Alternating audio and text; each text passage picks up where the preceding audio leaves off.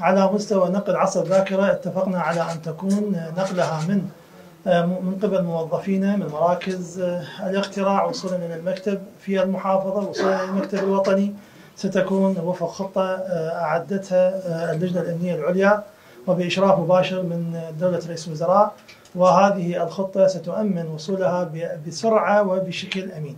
فيما يتعلق بمخازن المفوضية وانتشارها وآليات استرجاع المواد إلى هذه المخازن فقد قامت اللجنة الأمنية مشكورة وبتنسيق على المستوى ومنذ وقت ليس بالقليل على تأهيل كل مخازن المفوضية. والآن المخازن هي مؤمنة بشكل تام من قبل اللجنة الأمنية العليا ومن لجن ومن قبل اللجان الفرعية في كل المحافظات.